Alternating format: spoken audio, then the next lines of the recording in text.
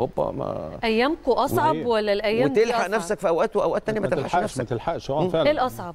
من ناحية الوقت الوقت اللي احنا فيه ده الوقت اللي بيمر على اللعيبه المحاولات التشتيت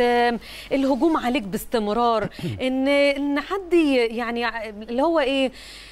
يجيب حاجه مش فيك يعني انت النهارده افضل هجوم وافضل دفاع ومع ذلك في ناس برضو بتشكك في ده مع انها شايفاه بعينيه شايفه بعينيها انا دايما إيه؟ بتكلم في النقطه دهيت الواحد دايما بيبقى هو الترمومتر نفسه اللعيب اللي عايز يركز اللي عايز يأدي هيحط تركيزه كله في الكوره هيحط تركيزه كله في ناديه مش هيدخل نفسه في قيل وقال مش هيدخل نفسه في مهاترات ويسمع من هنا ما غصب عنه برضه يا كابتن لا لا بص بص يا سام انا انا انا ما انا مش من النوع اللي بحب اللعيب ان هو